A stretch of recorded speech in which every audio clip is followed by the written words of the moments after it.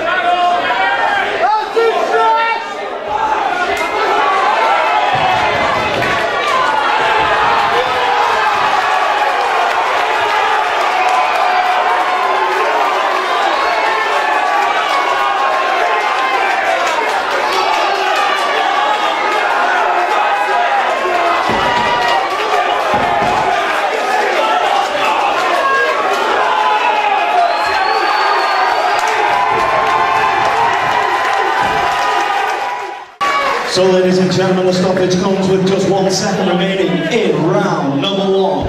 Declaring your winner, a new middleweight champion, Seamus Devlin!